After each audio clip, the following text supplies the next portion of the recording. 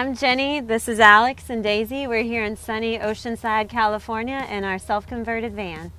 We have a 2018 3500 Dodge ProMaster 156 wheelbase. We'd love to show you around, so come on in.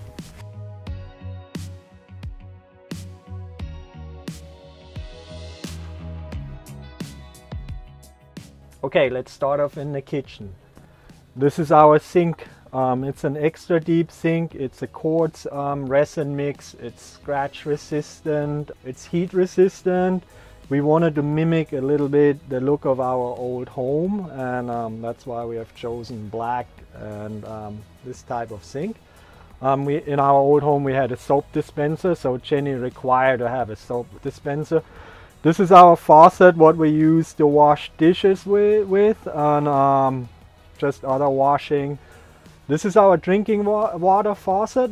What I really like, um, we have a UV light filter and a carbon filter under the cabinet. Um, what basically filters out 99.9% of um, bacteria. Um, so I wanted to talk a little bit about my history. So I'm from Frankfurt, Germany. I am a furniture maker by trade.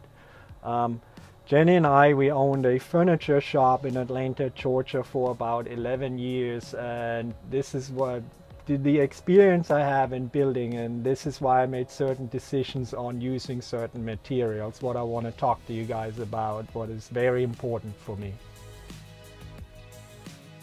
On the cabinets, the cabinet frames plus the cabinet doors, we actually used balsa plywood. The, ply, the reason why I used balsa plywood is it's 80% lighter than regular plywood and it was actually a big factor for me um, building this van out. I wanted to keep weight in consideration because weight is a big thing on a van. It decreases your gas mileage, it's hard on your shocks, your tires, etc., etc. And it, it, I just wanted to keep this really in considerations. Um, so on the drawer boxes, we used um, a half-inch Baltic birch.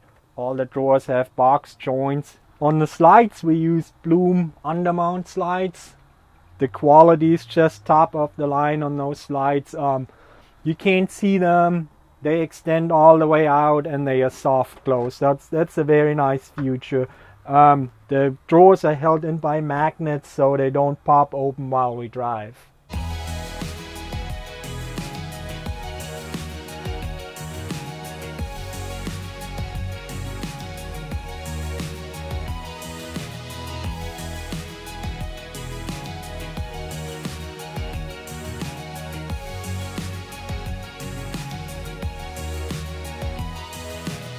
This is our cooking stove. We decided to go with a two-head burner. What is awesome. The big one is a little bit too powerful, but it's still good. We have a heat shield above the stove, what keeps the cabinets protected from the heat. Um, this is aluminum. And here we got our knives, but it's very nice, super handy. Again, we went with black because this was our old style at our home. We wanted to keep it homey.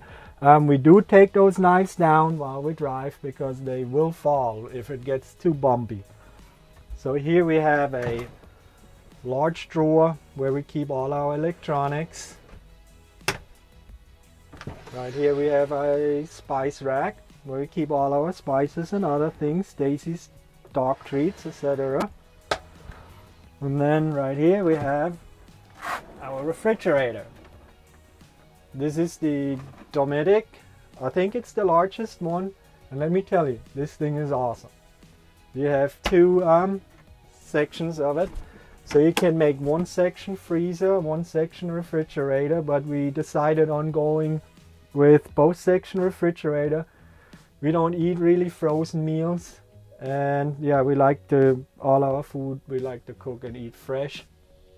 Okay let's talk about bed and seating area design. Um, we wanted to create like a nice seating area where we can work comfortably during the day and then have a full-size bed at night.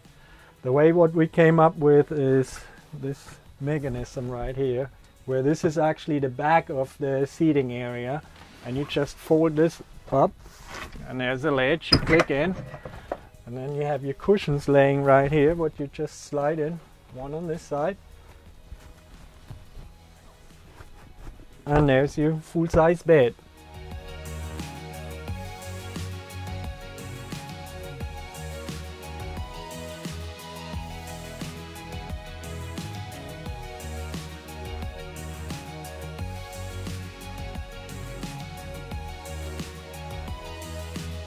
We have two MaxxAir fans. One is back here, one is in the front for good circulation.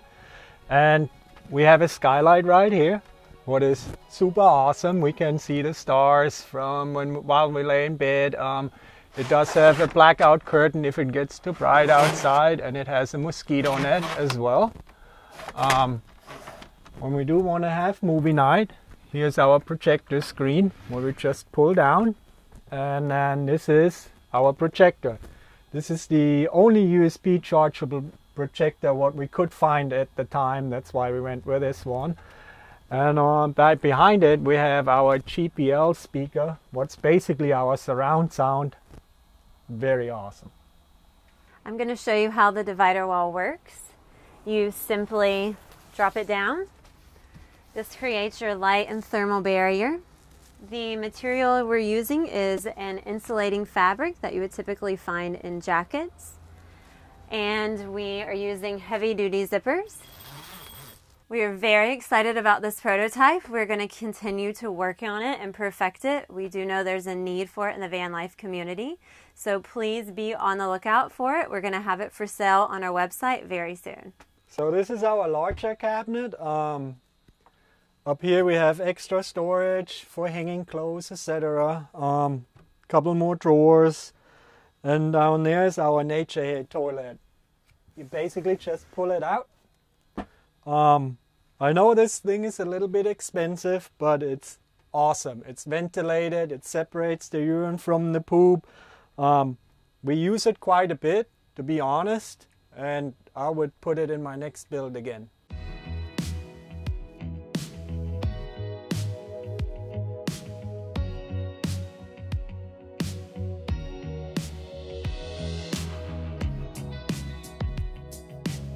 Welcome to our garage.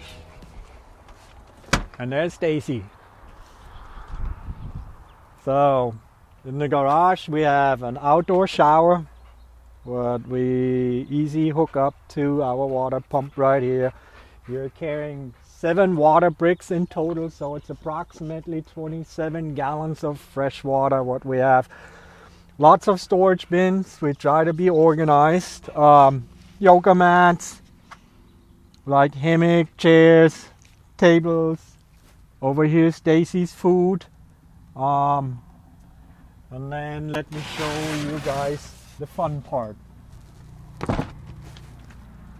Here it is.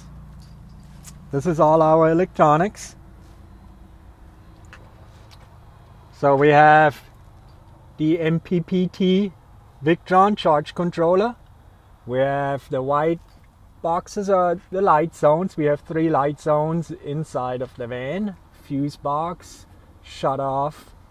And then on the right side is our power inverter. We have a 2000 watt inverter. Um, those bad boys down there is two 200 amp hours of lithium LiFePO 4, what is plenty of power.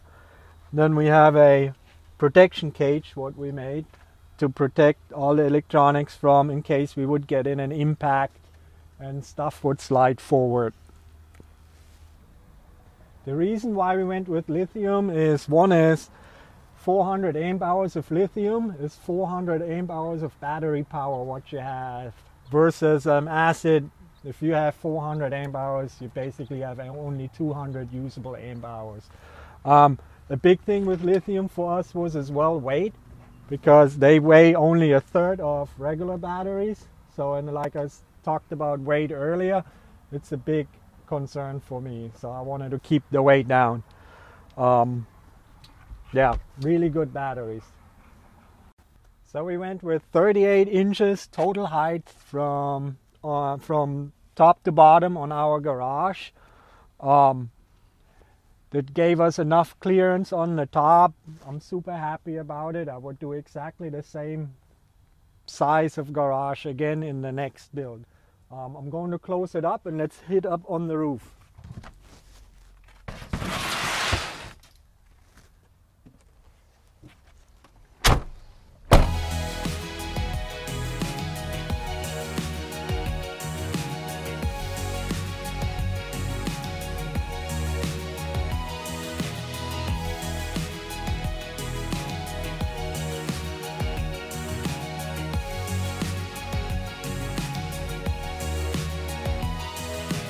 Welcome to the roof. So as you can see, what we talked about earlier, we have two MaxxAir fans, skylight, and we have two 310 watt LG neon, neon technology solar panels. They had a they have a very good efficiency rate. Um, we have them now for six six months approximately, and they are performing just amazing. We, I mean, we always get a charge with those panels. And finally, um, here's our 80-20 roof rack, what we designed ourselves because of the layout what we had. I couldn't find any roof racks for um, pre-made ones, so we decided on making our own.